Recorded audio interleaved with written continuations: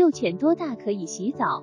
张安谷，职业兽医师。幼犬在疫苗接种完成后一周可以洗澡。一般主人买回家的幼犬在两个月左右，这个时候幼犬抗体很差，切记不能进行洗澡，很容易引起感冒，甚至可能会引起传染性疾病，危及幼犬的生命。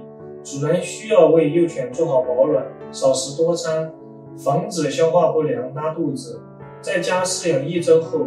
幼犬吃喝拉撒全部正常，即可带到正规宠物医院去注射预防传染病的疫苗。幼犬首次疫苗一共需要打三针预防传染病的疫苗和一针狂犬病的疫苗，整个疫苗过程至少需要四十九天。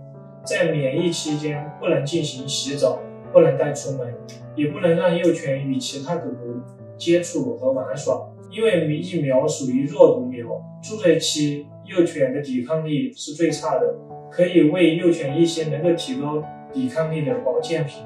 在四针疫苗完全注射完之后，间隔一周方可给狗狗洗澡。